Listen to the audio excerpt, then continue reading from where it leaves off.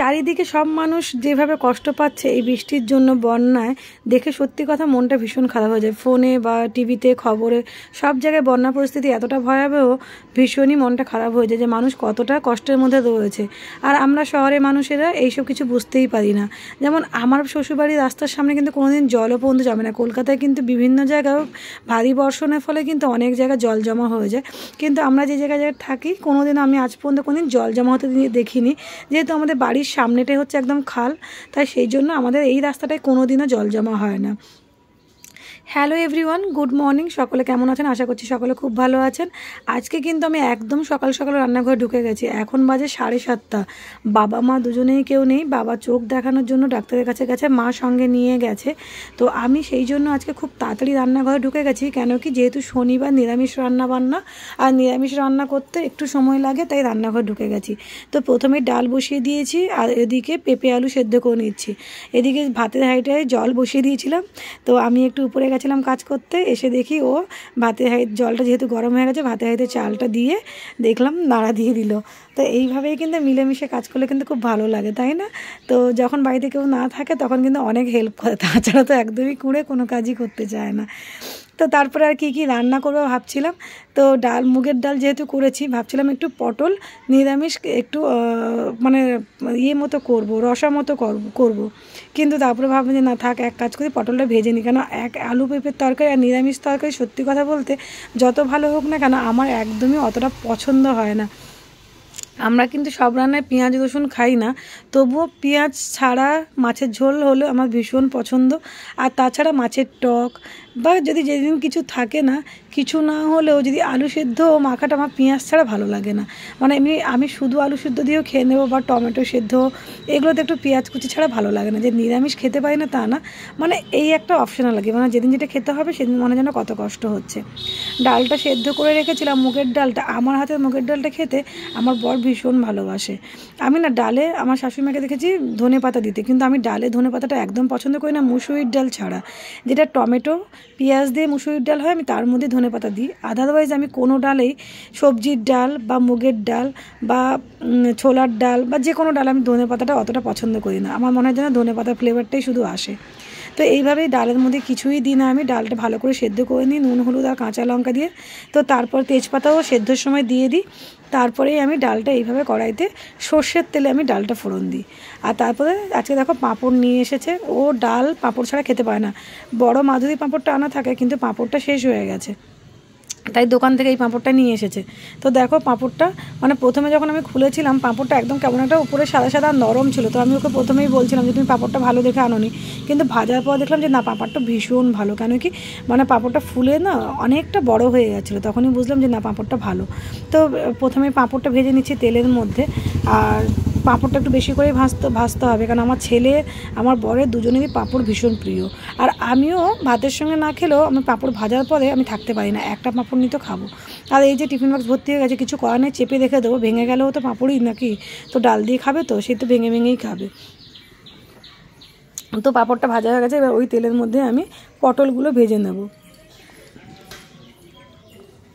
আমার না গরম ভাতের সঙ্গে একটু ঘি মেখে পটল ভাজা দিয়ে খেতে ভীষণ ভালো লাগে। আর এই একটা সবজি আমি আগেও বলেছি, আমার কোনো দিনও এর প্রতি কোনো অরুচি নেই।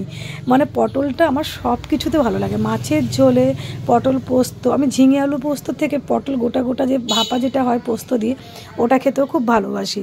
আমি পটলে আমার মানে যে কোনো রেসিপি হলেই আমি পটল খেতে ভীষণ পছন্দ করি। আর পাঁপড়টা ভাজার পর দেখো, ওইদিকে পটল ভাজা হতে হতে আমি একটা পাঁপড় খেয়ে নিলাম।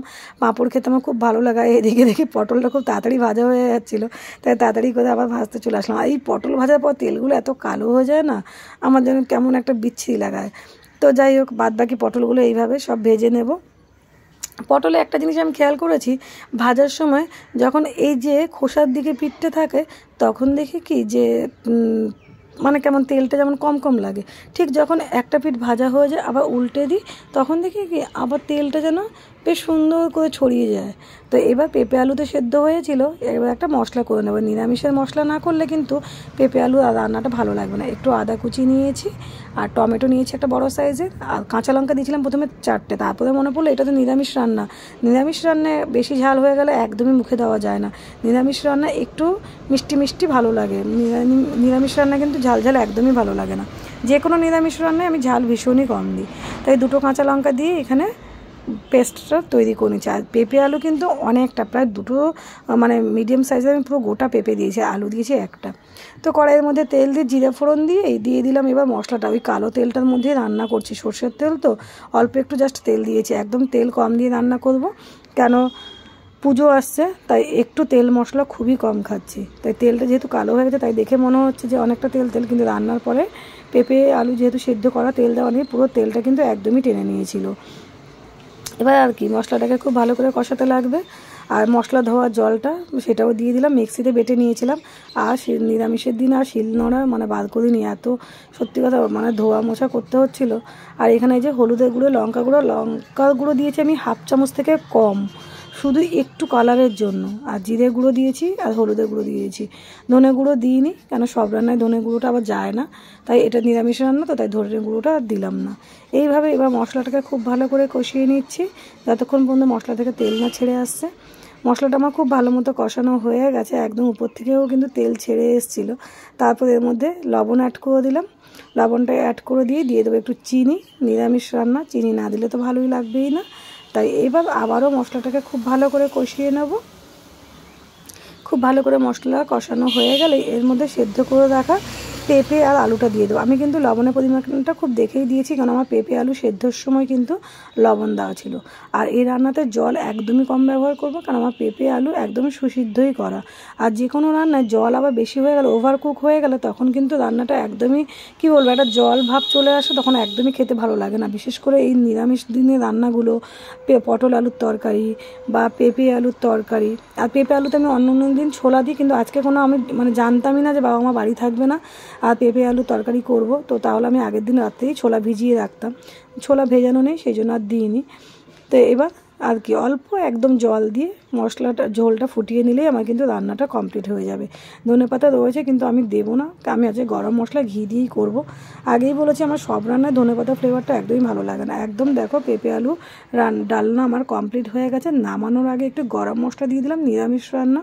আর তারপরে দিয়ে দিলাম ঘি, এখানে এক চামচ মতো ঘি দিয়ে দিলাম। বেশি ঘি দেবো না কারণ বাবা মা যদি এসে খায়, তো সেই জন্য শুধু একটু গন্ধটার জন্যই দিয়ে দেওয়া। তো রান্না আমার কিন্তু একদমই কমপ্লিট তো দেখো, তেলটা যতটা দিয়েছিলাম ততটা কিন্তু এক একটুকুও তেল নেই রান্নার মধ্যে। তো এইভাবেই কিন্তু আমার পেঁপে আলুর ডালনা কমপ্লিট আর আজকে পেঁপে আলুর ডালনাটা সত্যি ভীষণ ভালো ছিল ও খেয়ে বলেছে খুব ভালো হয়েছে। তো এইভাবে নিরামিষের দিন তুমি কিন্তু মাঝে মাঝে রান্না করতে পারো। খাওয়া দাওয়া তো সব কিছু কমপ্লিট আজকে ছুটির দিন, বর তাড়াতাড়ি চলে আসবে, তাই এবার আজকে একটু বেরোবো। তো ইচ্ছা আছে বর একটা জিন্স কিনবো জিন্স নিয়ে নষ্ট হয়ে গেছে, ছেলের জন্য একটা জিন্স কিনে নেব। তাই বেরোনো আর কী কী কেনাকাটা করছি তোমাদের নেক্সট ভিডিওতে জানাব। ততক্ষণ পর্যন্ত সকালের সঙ্গে থেকো। Tata bye bye